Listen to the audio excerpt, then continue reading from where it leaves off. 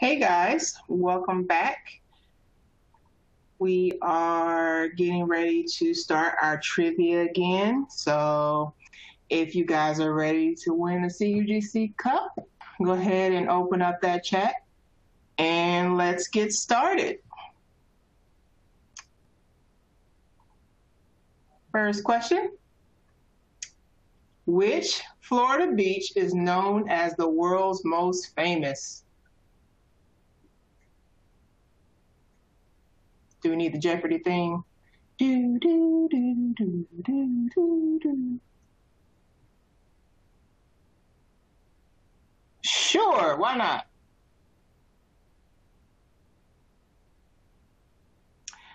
Douglas H wins the game. It is Daytona Beach. So, Douglas, if you uh, send us an email um, that email should get populated in the chat in just a minute. Waiting for it.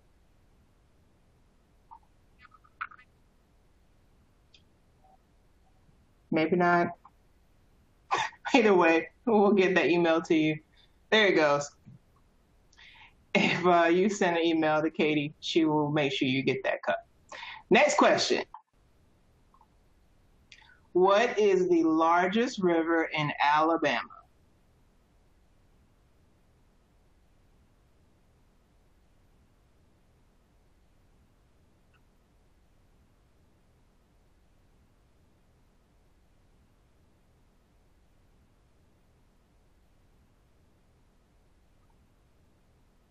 Anybody know?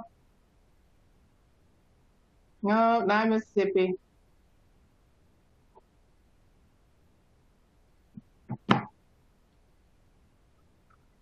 Anybody else want to give a stab?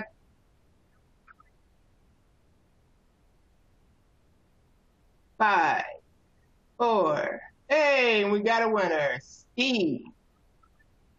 Steve got it. It is the Tennessee River. So if you send us an email, Katie we'll make sure that you get your prize. All right, guys, we are happy to introduce Joe Shonk. He is going to talk about unoptimizing your system for great scalability, reliability, and stability. Go ahead, Joe.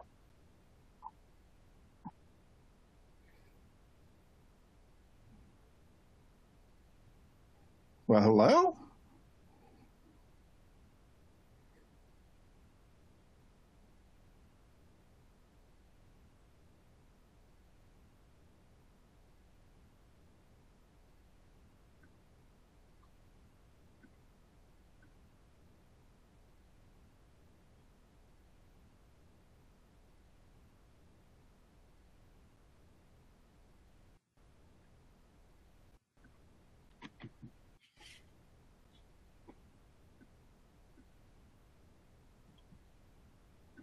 Hold on one second, just waiting for the uh, video to come up.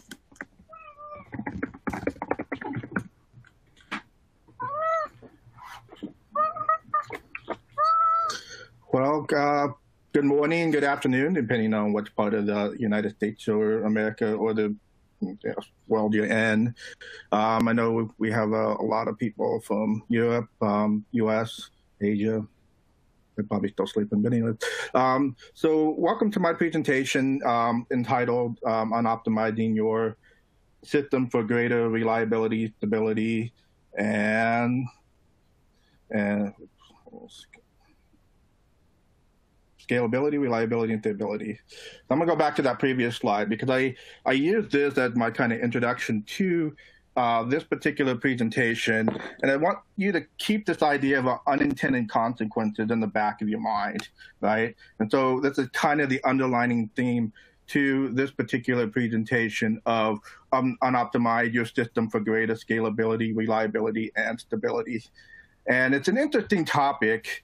Um, some people are confused by it, intrigued by it. There's a lot of uh, uh, some talk around it. And so I chose this particular topic for for a region, and I'll get to that into a minute, in in a minute.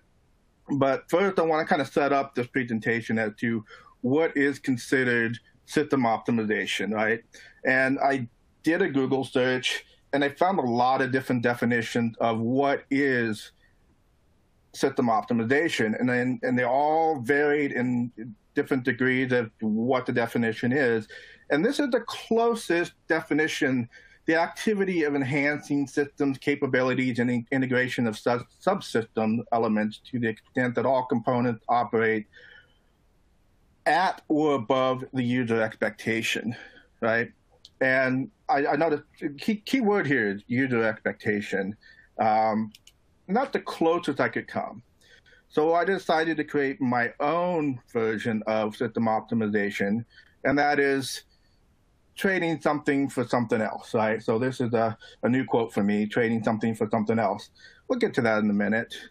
Um, so what is trading something for something else? So to me, optimizing something means, in a sense, nothing is free.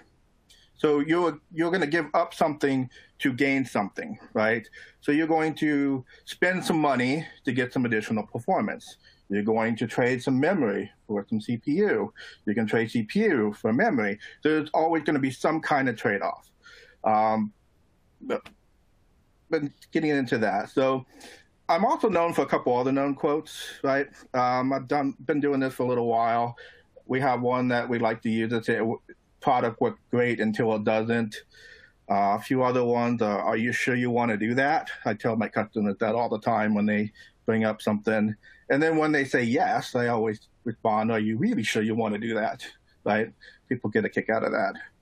So going back to the system optimization, I put up a, a little kind of chart up on the screen here of different things you can trade. You can make a trade for memory for disk op optimization, PVS, MCSIO, for example. Uh, UX, um, GUI features and functionalities you're giving up for uh, additional bandwidth or network bandwidth uh, capabilities for CPU optimizations of VMware. You have the ability to have older CPUs and newer CPUs in the same cluster, but you give up something, right? You give up some of the newer uh, features that the newer CPUs have to offer in an exchange for that compatibility, right? Uh, security for speed, uh, manageability for security, complexity for scalability, and the list goes on. And it's not necessarily optimizing something has to be a technical trade-off where you're trading one thing for another. It could also be something like supportability, um, power and cost savings uh, might be consideration. And a lot of times we see optimizations are due to politics or internal organizational politics, right? I'm sure some of you have had to work with the VMware group in your organization or the hypervisor group in your organization, and they have their own way of doing things. They like to build their clusters for a generic all-purpose um, VMware environment. They love DRS. They love Storage DRS. But we know a lot of those settings have to be tweaked and how do you put it? Um, what, what, the, what, what the best, best way to put it? They don't, they're not always compatible for what you're trying to do, perhaps in a Citrix or um, other VDI type environment, right? So VDI kind of is a special place that has uh, very resource intensive, hits all points of the network, um, but you have to interface with a lot of different people. The AD people have their own way of doing things that may not be compatible for what you want to do for group policies and group policy loopbacks. So you go and use WEM instead to get around some of the challenges that the AD team might put in front of you as far as user policies and configurations. Right? And, and so we, we it's, it's like I'm saying, system optimization isn't necessarily uh, confined to a technical trade-off for another trade-off. Um, so this presentation, is, it's very um, story-driven. I'll get into some more technical details. And after this presentation, we have the roundtable. So if you guys want to get into some really deeper um, into the rabbit hole type optimization questions, we, we definitely can do that. But um, for, the, for the purpose of this presentation, I want to kind of go through what I kind of see is optimization. And I know we've all done this. I've done this too. So as this goes, it's starting to become fall. In Arizona, we've had 144 days of 100 plus um, degree weather out here. So it's starting to cool down. So everybody's getting excited, getting below the 100s. And for us, that means we can go outside, right? We're no longer confined inside. We can actually go out to our porch and not melt. Um, so this idea that now we can go outside and enjoy our lawn, enjoy uh, our backyard, right? But when we get out there, we see this, right? But this is what the reality looks like today. So, but you want your environment to look like this. So you're going to grab one of these to take this and try to beautify your lawn to look like this. You kind of wish you had one of these, but they are kind of pricey and expensive. So to to move this, but you really want this. So instead of buying this, you take this to move your pile to get this.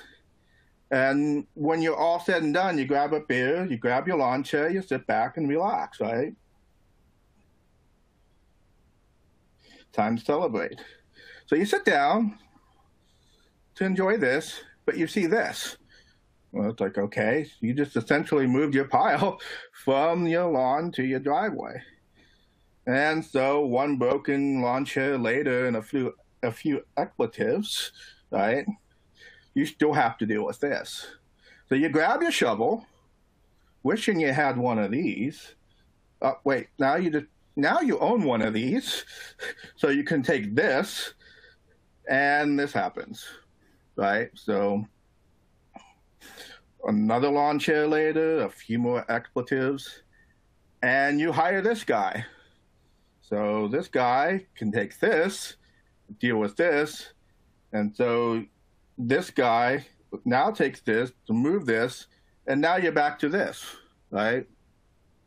All because you didn't go out and buy a uh, um, a dump truck to deal with it. So all you've done in this in this scenario you move the problem uh, with some of your optimizations, and then when you have to deal with the unintended consequences, as I was saying earlier, you have to move that stuff back, right? And then instead of moving it to where it needs to be, you, you end up moving it back to where it was. And so we end up with a kind of a train wreck. So.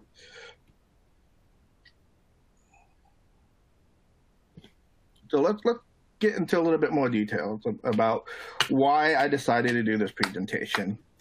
And I came up with this presentation about a year ago and given it to a couple of the local CUGs and out in San Diego as well. And the reason I did this is because as a consultant, I go around, I go to different customers, and I see what they do, and I see the impact of what they've done.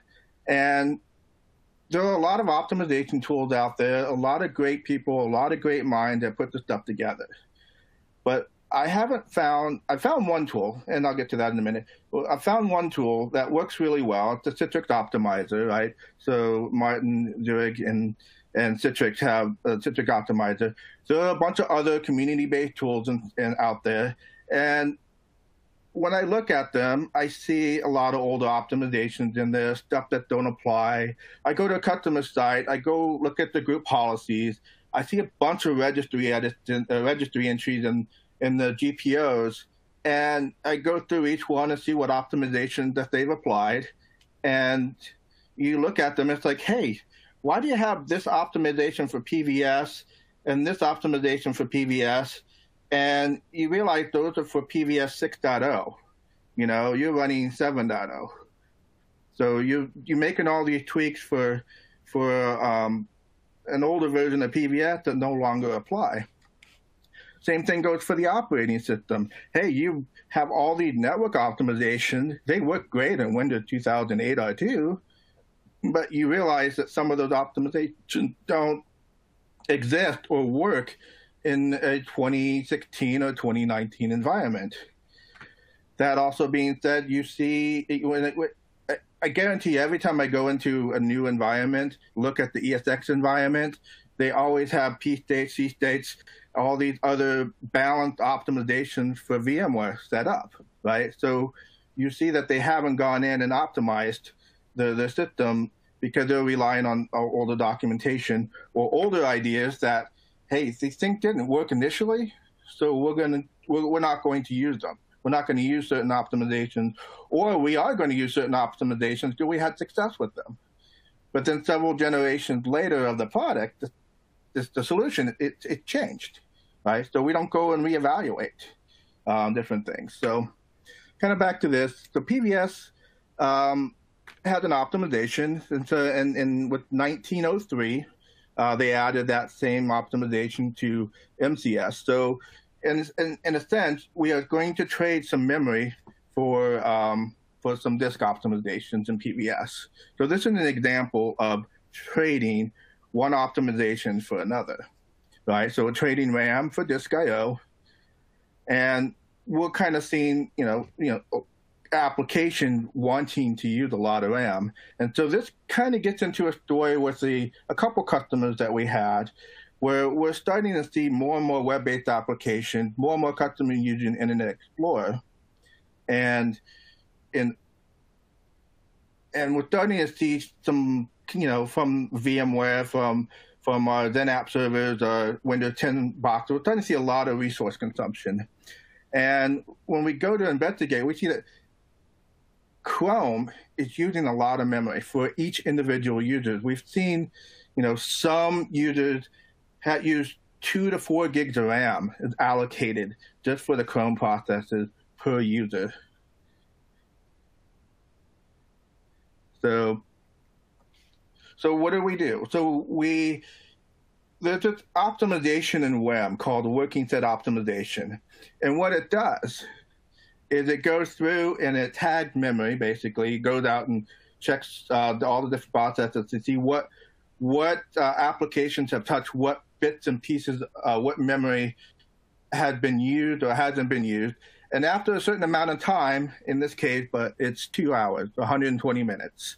And if that memory hasn't been used, it asks the system to flush that memory, uh, that, that, that, that application memory from being in the active memory down into the page file. So basically, you can take the memory, flush it out so that more active memory can be used for other processes and by other users, right? So when you look at this, you think, okay, I'm going to have this optimization. You, users come in, they start work at 8 o'clock. It's not until two hours later that that optimization starts to kick in, right? So you're kind of thinking, okay, well, how do I speed this process up? I can't wait two hours to get some of this memory back because I've got 10 users on here and they're sucking up 32 gigs of RAM.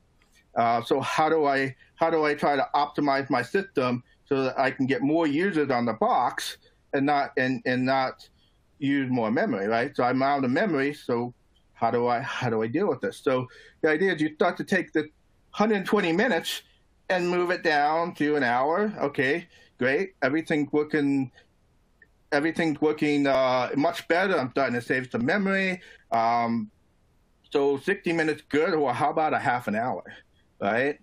So uh, you know, I got great benefit from, from 60 minutes. I'm getting some better results for half an hour. So let's just bump it down to 15 minutes. Heck, why not just crank this all the way down to five minutes? Well, that's kind of when we start to over optimize a little bit. Because in what we've kind of been finding out is you you provision the machine with PVS or MCSIO with the caching enabled. So we're trading memory for disk optimization, but now we're going to take memory and then dump it back to disk. Does that make sense? So we're kind of going the opposite way. So we, we optimize the system to try to mitigate disk I/O, and then we immediately uh, enabled another optimization that's going to take that memory and dump it back to the disk.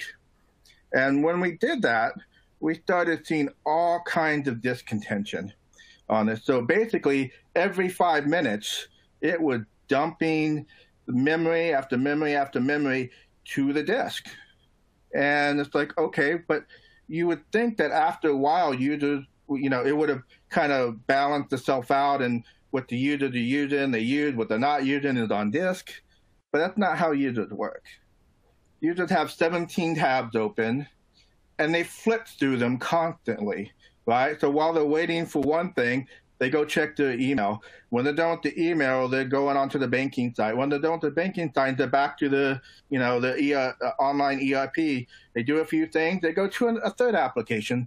So there's a reason why they have 17 applications open. So what's happening every five minutes is, you know, they're on one page for five minutes. So all the other 16 tabs go to disk. Then they flip through. So those have to be reread into memory so we're pulling that off of the disk back into memory, only for five minutes later that they're on another tab and that's getting flushed back to disk. I don't know if you guys can see this chart. This is kind of an example of what we were seeing here is we had this massive memory utilization from the users, right?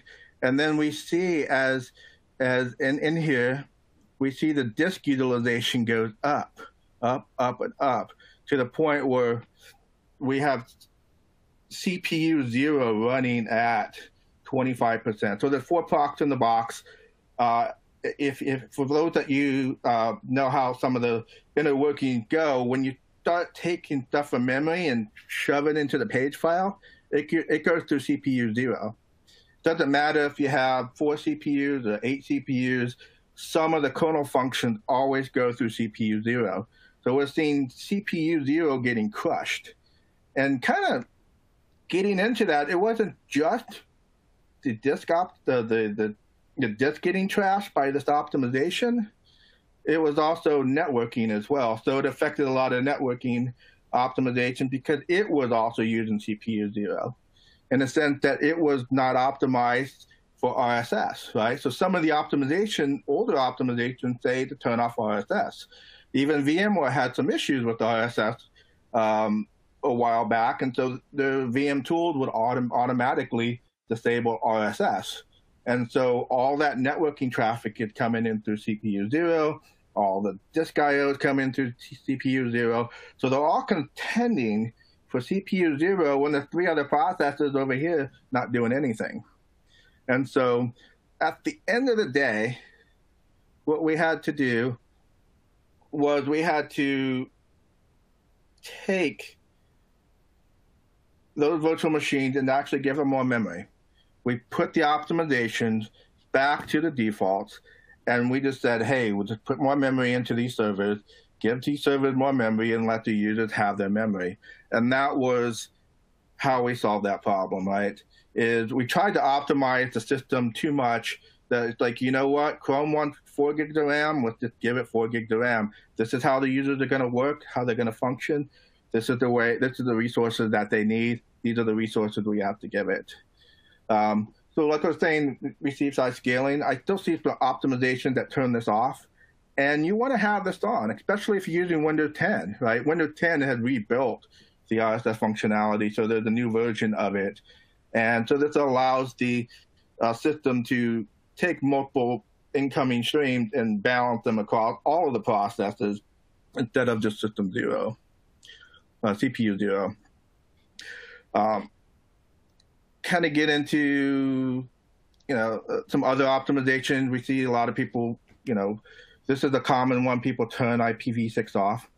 Uh, no reason to turn it off. Microsoft recommend you don't turn it off.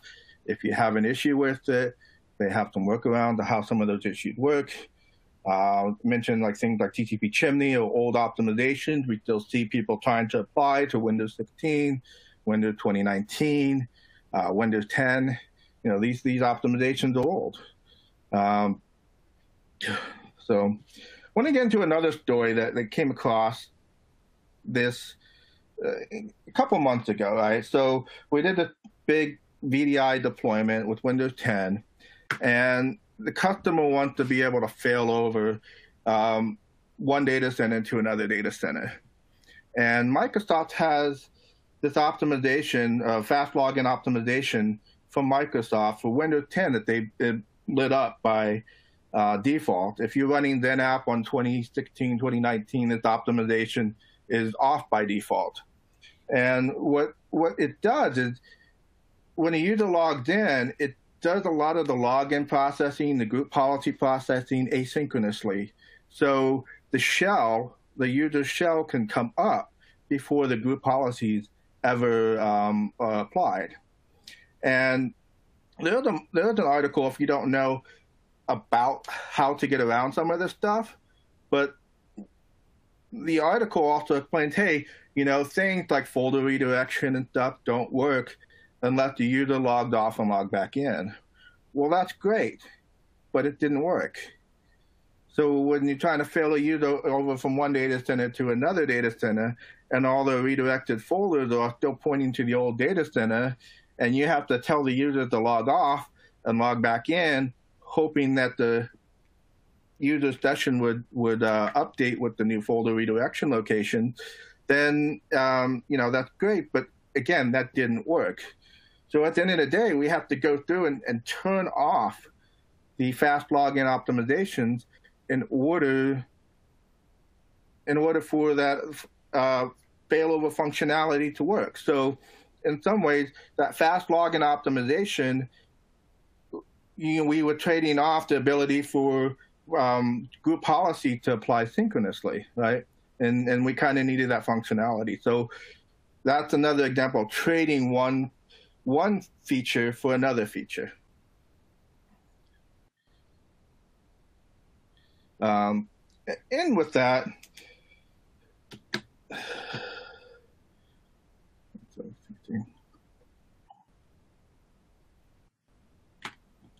So here, I don't know if you guys have seen this before, but um, um, I did talk a little bit uh, that there are a lot of different optimization tools out there and some optimization guides.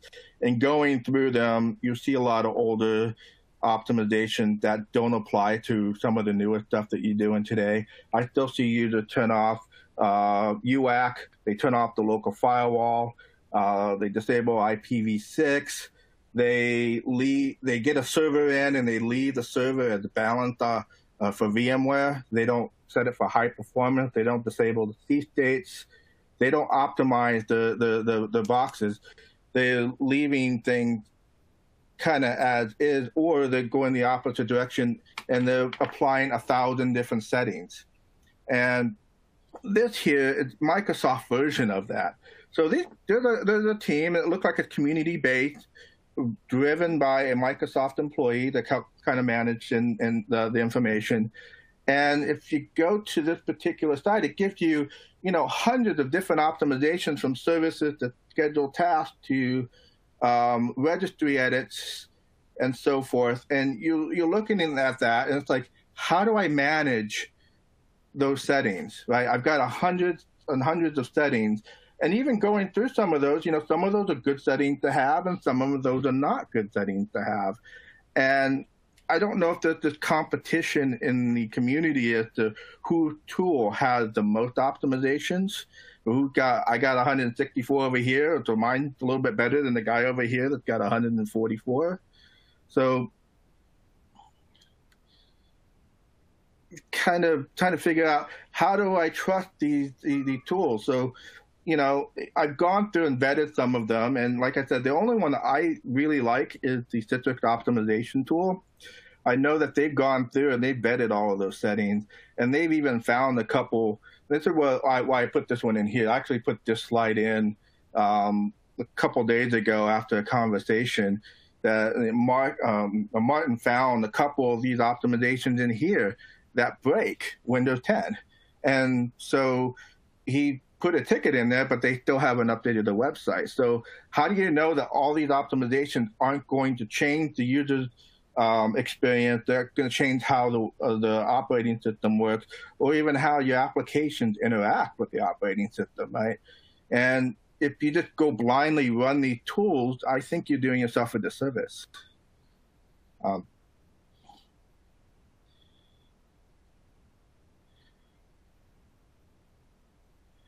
I don't know. Let's take a couple questions here. I know it's it's it's, it's a little hard for me in this particular virtual format because I'm not getting any. I can't really see any feedback from people, uh, faces and expressions, and, and an audience here. So um, this is kind of my first time doing it like virtually, virtually. Although I did one um, a couple years ago, a short 15 minute one. Uh, do we have any questions on some optimization? We can get into uh, some of the specifics in the roundtable in, in a few minutes. Um, we give you a couple more stories if you like some more stories on this. Uh, I can give you some more optimizations here. Uh, oh, let's do this. Um, this is one of my pet peeves, and also another reason why I actually did the presentation is I don't know how many of you are using PVS or MCS. They're kind of the same now. Before they were a little bit differently. The new version of, of MCS allows you to have that kind of persistent disk that you can redirect a few things to. And sometimes you do need to read it, redirect a few things, but I see people redirect everything to it. And that includes the event logs, App-V, the WEM cache, um, profiles, print spoolers, and what I call what I call the PPP. And there are some things you probably want to redirect, especially maybe in XenApp you want to do event viewer, but there are also um, like Windows 10 uh, VDI. If you you can redirect the event viewer, but why? You know that user is going to log in. It's not like you can log in and look at the event viewer real quick before the user logs off. Um, you're better off doing something like an event forwarder. So are you using the best technology, or are you just trying to move it over here, hoping that you can capture uh, an issue that a user had with the event viewer being redirected um, at a future date, right? Because once the user logs off, the machine's recycled, it reboots, and it's most likely going to be assigned to another user. So how do you find that user, that VM for this problem at this time, and then go try to get those event logs for that specific machine? It just doesn't make any sense. The XenApp is a little easier to do since user logged off, the machine doesn't reboot. You can always kind of correlate that a lot easier. Um, but redirection, right? So this idea of redirecting services to the persistent drive, right, called policy profiles and printing. And my my suggestion on these is no, no, and no. Again, why? What are we trading for what? Uh, people, every time I've asked this question, I get this, well, I've got that um, RAM disk, uh, the cache and RAM with disk overflow. And I don't want to have it all of a sudden fill up and then start flushing everything to disk. So I said, okay, well, let's take a look at that. So you're trading RAM for disk, right? But then when you redirect, you're bypassing that that cache, right? So now you're no longer leveraging the you're no longer leveraging the cache. You're bypassing it. So in in order to try to save the cache. So what I ended up doing was I, I took this and made a little experiment out of it. And so let's take this print spooler for example. I went out and just tried to find a really large PDF and what I did find was the Apollo 17 flight, flight plan from October 23rd, 1972. it's a 618 page PDF, about 20 megs in size.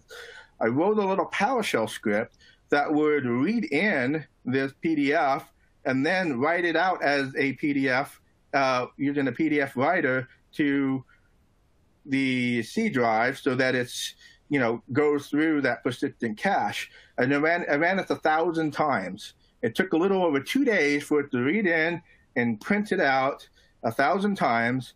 And we started off with a differencing disk of the standard, you know, four megs um, size, right? And then we ended up with four megs. And so we could see here that we, all thousand print jobs stayed within that read ca- that write cache. So every time it wrote something to the disk, it stayed inside there. There was it it had enough write cache in memory to not overflow to the disk. So this concern that I have thousands of users printing all the time that's going to fill up my disk, and it's like no, it's not going to fill up your disk. Um, if you if you size your write cache properly, it won't overflow the disk. I did the same thing with a random data file generator that basically instead of writing zeros, in which an underlining storage system can interpret that differently and just discard it because they're all zeros, I found a random data generator that it can create a file and put random bits in into that file. So it can't be compressed, it can't be um, deduped. So it bypasses all of those underlining storage technologies. So I can stress test the RAM, see the RAM cache. And so I went through the same exercise, creating files large enough that could fit into the RAM cache but not overflow it. And I ran 2,000 iterations of writing 100 meg files to the temp directory with three seconds in between each. And so would write 10 files at 100 meg, so about a gig each, and then delete them again, delete them again, delete them, and do that 2,000 times. And we ended up essentially with the same results. So we started off with a four gig or the uh, four meg differencing file, and we ended up with a four meg differencing file. So, and then because we didn't we didn't uh, need to overflow the data. The RAM that RAM that RAM cache did what it was supposed to do. Um, there are a few exceptions to things. I know now the WEM cache has kind of been a disaster in a that's a whole different story. But um, if you're going to use the cloud version of WEM, they want you to actually redirect it to a, a persistent disk. Again, my better nature, I don't like that idea, but they don't have an infrastructure broker on-prem that can do the caching for you. They do have a broker in the cloud connector, but it doesn't cache. So they did want they're just trying to prevent hundreds of machines having to go up into the cloud every every uh, every time they boot to go grab a clean copy of the cache. So, in summary, there's a couple couple couple other things I kind of wanted to talk about was, you know, it's okay to do system optimizations, and, and we still do. I'm not saying don't do system optimization. The point of this whole thing is to understand what it is you're trying to achieve with these system optimizations. Too many people go out, they grab a script, they run it, and they trust it, and they hope for the best. And what ends up happening more often than not is there's some kind of unintended consequence. And I get called in to try to troubleshoot some weird issue only to find that a few little settings were tweaked, uh, undo those settings, and things are back to what they should have been in the beginning, right? So there were unintended consequences by running those optimizations. My best suggestion is take those optimizations, take those scripts, and find out what you want to get out of that script. You don't have to run every little setting in there. Just kind of interrogate, say, hey, does this make sense for me? I know 100 settings, 150 settings are hard to do, but figure out what is it, you, what you need to optimize and try to focus in on those particular settings that are going to get you closer to where you want to do. A lot of these performance enhancement settings only give you one or two percent performance gain, and maybe years ago that was really important. Some UX changes with a user on a dial-up modem uh, made a big difference to have the cursor blinking in uh, the time clock. Every time, every minute, the clock changed. Everybody got a screen update. Well, yeah, that makes a big difference when everybody's on dial-up.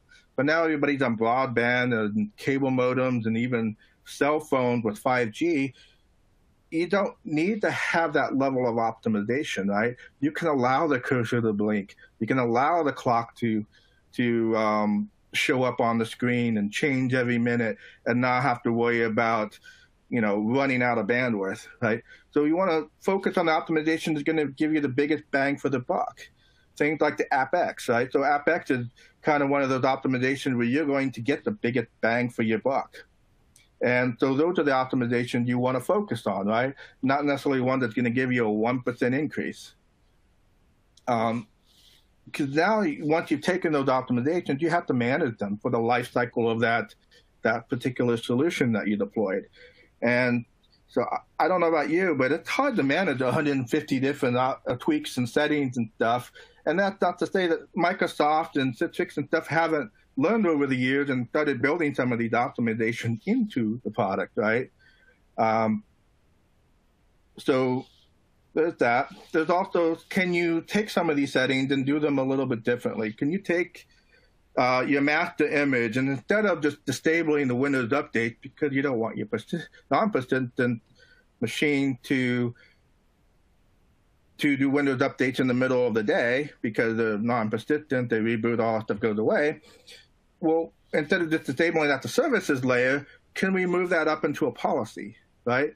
So the master image can be in one OU that automatically enables Windows updates so that it can get Windows updates when it turns on and gets updated. Um, but when you provision out the, the shell machine for your MCS, PVS, or whatever um, mechanism you're using for your VDAs, you don't have to. You, are doing a different OU, and the group policy automatically tells them, I don't need to do Windows updates. Um, same thing with firewall uh, updates. People gotten better because, uh, like the firewall one, people used to go in and the stable thing at the services layer, go in the services.msc and disable Windows firewall. Well, that obviously broke a lot of things. So you go in and actually do policies now. It kind of forced them to do that. But there are other services that are like that. That you go in at the services layer and think, I don't need this. Let me disable that. And yeah, it disabled it for what you need. But then there's this other service over here with Windows Defender. Now it's broken because it can't leverage that service because you disabled it. All right, so let's let's go through questions here. We got a few minutes left. Um, questions from any optimizations that are not important, and you do not see them deployed at most customers. I'm not sure I understand. Uh, any optimizations that are, are important and do not. Okay, so one of the things that we see a lot of um, from a performance perspective that are not being done that should be done. Things like RSS, right? Receive Side Scaling. Um, you can leave all some of the other saying task offloading stuff. Those things have been fixed, so you don't need to touch those anymore. You don't need to disable those. Um, network optimizations have gotten a lot better. You, if you're in 2016, Windows 10, 2019, a lot of the older optimizations are no longer relevant. Um, you can leave those alone. Um, PVS, we still see a lot of PVS optimizations that uh, for 6.0 are no longer relevant because most everybody's running 7.0 or 7 uh, version of 7. Um, uh, VMware, we see a lot of things with um, the hardware, where the hardware is set for C states and it's set to balanced. And what that's doing is it's basically doing car, uh, core parking on on process, the on the processor, the cores are going to sleep and waking up and going to sleep and waking up. And there's a little bit of latency that happens to wake up the core in order to have that thread processed on that specific core. And once it's done, it goes back to sleep. And then it's got to do that you know, hundreds of times per second. And that little latency adds up after a while. And when you get to a certain point in your in your cluster, everything looks great then there's a tipping point where the performance starts to suck. And then you go in and you try to evaluate, well, what has the customer not done? Okay, they haven't disabled core parking. They haven't set um, the VMware and the BIOS to maximum performance. Uh, they have RSS disabled on the virtual machines. They don't have any, any of the VAAI drivers installed on the ESX host for their storage, so they're not leveraging any of the storage optimizations that that platform has. Um, and even in, in and even then, you have to also pay attention what storage, what what environment am I running this on? Because some of these optimization, uh, I love the PVS cache and RAM and MCSIO cache and RAM, but there are some storage appliances that don't work well with those particular technologies. Nutanix being one of them.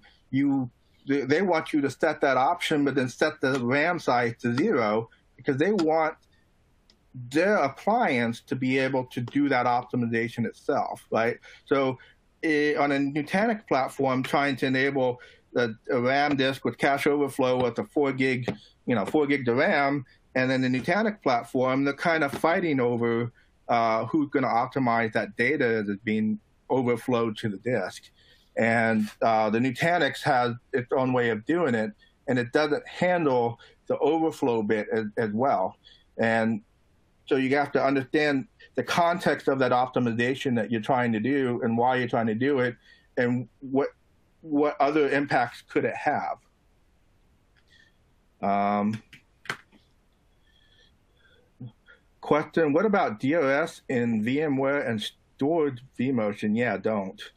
Uh, for some reason, VMware folks and group, they like to light up every every uh, feature they can. They like to tune every dial. And some dials are just best left alone, right? The, for, from, from a DRS perspective, you know, if you have a really large environment, you don't want to be moving virtual machines around all over the place, especially if you have a Citrix focused cluster. You want to partition the virtual machines, not oversubscribe them. And what I mean by that is you want to carve up the resources so that those machines don't have to move because they're, they're fully loaded. You expect them to be fully loaded because you, you can't fit all the users on one physical box. You have to have multiple physical boxes, and the virtual machines are just the conduit to get those users onto that box. So say you have 32 processors and you want to give each virtual machine eight, eight vCPUs, well, do the math. You're going to have four virtual machines on there, you know, or, or vice versa. You want four four vCPUs to eight machines, that fills up your 32 processors, right, or your 32 cores, uh, you know, virtual CPUs, right? You don't want to oversubscribe. Once you start to oversubscribe, then you've got some resource contention when the system is fully used. When the full system's not fully used, then you don't have to worry about that, right? Then you have that generic uh, workload where I've got extra resources. Let me let me just uh, um, throw it into that pool. But in this case, when you're building a large infrastructure, you don't have extra, right? You build them out. You build that extra virtual machine. You don't need to evacuate, right? You put stuff in maintenance mode once the users have drained, then you've got that host for maintenance. Um, all right, so it looks like we need to continue this for our roundtables. Yep. So I'm going to end it here and uh, and then I'll start up the Zoom meeting. Yep, thanks everyone. So definitely head over to the roundtables. I know if we didn't get to all your questions here, um, you can come and see Joe in the roundtable and ask them there. So we'll see you in a little bit. Thank you, Joe. Thank you.